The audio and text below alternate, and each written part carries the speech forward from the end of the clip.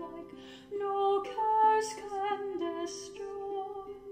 Be there at our waking and give us, we pray, your bliss in our hearts, Lord, at the break of the day.